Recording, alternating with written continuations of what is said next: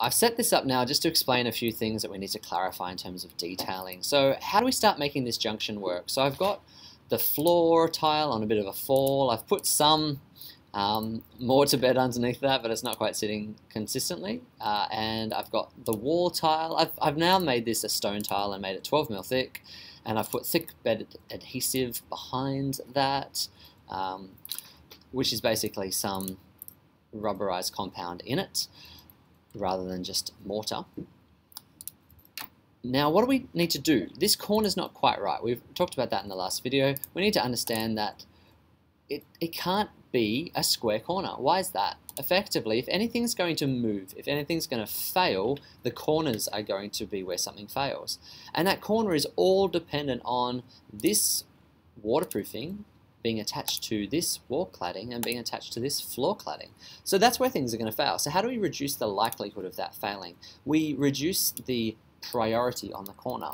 So what we do is we therefore reduce Let's move this away. We'll just keep a copy of this. We'll move it away for now.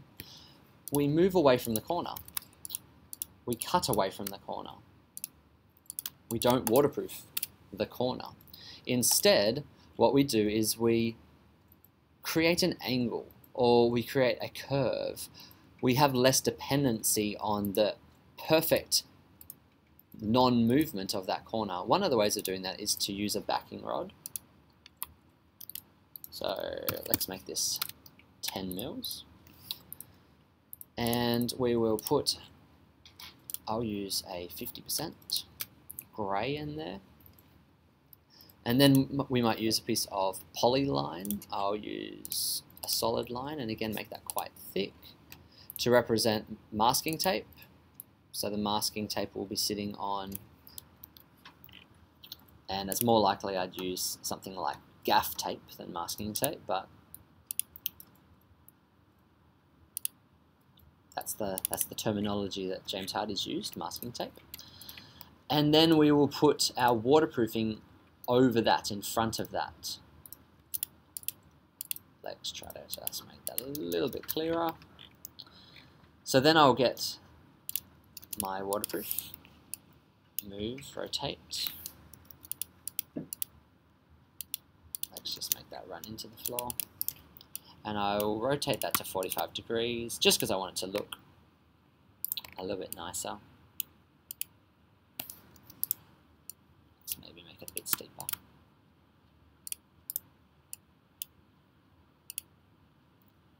And then just like before, I'll miter those joints.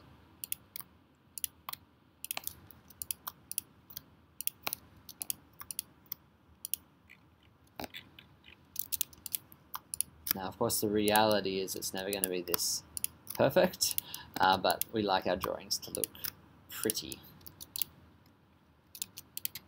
Right, so you can see underneath what we're tracing, it's not a straight line at all, uh, but that's what we're trying to explain is what's happening. So we're creating less of a dependency on that corner. We're adding a lot of extra waterproofing uh, in order to make that work well and then what's important is that our tile obviously isn't competing for that corner. So we need to give ourselves extra depth at that corner so that works. Of course, this doesn't necessarily need to be this tall.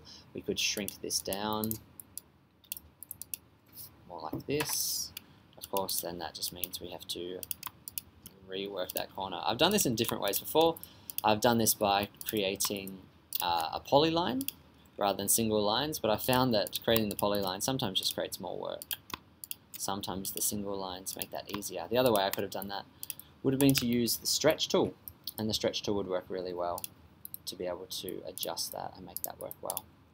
Alright, so now let's just go to a bit more theory. How deep should this tile be? That's sort of a question of, well, how far does it need to run?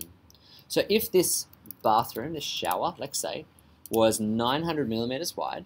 And let's just say that we had a, a linear drain or something at this point here, some type of a drain.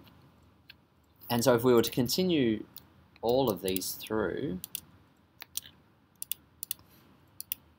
edit, reshape, stretch, let's just run it all the way through for now.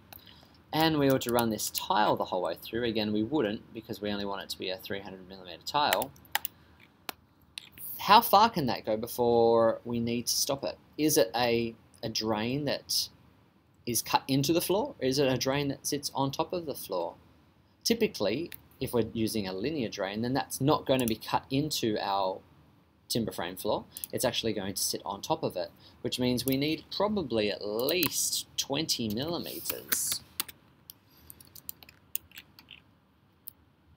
of structure for our tile to line up with. So let's just use this as a, as a guide for now. So this is determining how thick our build up or our slope needs to be. So our bedding for our tile. So when the tiler comes and creates a screed, which is creating the fall on the floor, and then they come back and then they glue the tiles down effectively. How thick does that screed need to be? Of course, the screed is creating a fall, and we talked about that we're trying to create a 1 in 50 fall. That's the ratio that we're working to. Uh, but it's sort of based on the lowest point. It's based on the lowest point in the room. And now if that's only falling 900 millimeters, then that's telling us how tall that needs to be. But if it's falling a lot further than that, if it's falling 2 meters, then that's going to be substantially higher. So we need to understand, now in terms of a drawing that's a detail, maybe we don't need to work that out, maybe it just needs to be indicative, but it's very good to understand the impact that that plays. Next question, how do we do the corner for tiles? How does that work? Which one goes in first? I would suggest that we're probably creating our screed first, our floor screed. And then we have perhaps our wall tile going on first, and then our floor tile meeting it. We could do it like that. Or we could have a situation where our floor tile goes on first, and our wall tile meeting it. What's the problem with this? Of course, we're not meeting them perfectly. We need to allow a tolerance we need to allow a mortar gap. How does this mortar gap work? It's not probably going to work very well if this is a very, very heavy tile. So therefore, sitting this directly on the screed is probably going to be more structurally stable and then running this tile into it. Can we do that? Can we run this tile into it? Let's have a look at our trace reference. No, we can't run it straight into it. Why is that? we need to have a gap. We need to be able to leave a gap, and that gap would commonly, where we have a gap here, or a gap here, have a grout joint in between it. What would a grout joint look like? Effectively a grout joint would be another piece of mortar looking stuff like that. What's the problem with that? It's a corner junction. So typically in a corner junction, we actually shouldn't have a, a grout joint, but we should have a silicon joint. Something that is again going to have the ability to move, to expand, to contract, something that if there is any movement between the wall and the floor, it's not going to create a break in the waterproofing. So of course that could work in that direction. That would mean that the tile is sitting directly on the screed, or it could work in this direction, and we'd need to put a spacer underneath our tile so it wasn't sitting directly on this tile, and then we'd backfill that. with a silicon joint. So hopefully that's helped to understand a little bit about the construction and why we will be creating this junction the way that we are. That's effectively what we're trying to communicate. Now we haven't added the annotations that are here, and it's probably a very good idea to add in this annotation. Um, we're probably using this one at the moment. But of course, as I've been noting, there is some things that we will be changing. Now, we only maybe legally need to have 150 millimeters of waterproofing above the water level. That's based on us not having a hob, uh, but us having a linear drain, 150 above here. Uh, but not if this is the back of a shower. So if this is the back of a shower, then that's going to need to be much, much higher. So at the moment, I'm not concerned about that. I'm just going to show this running continuously up. And then in terms of finishing a detail, what I like to do is finish with maybe not a break line, maybe actually more like just a white line. So use a fill, get rid of the edge, and display order bring to front. So that terminates without a line which suggests there's a continuation. Of course, we could do that with a, a break line, which would look something more like this.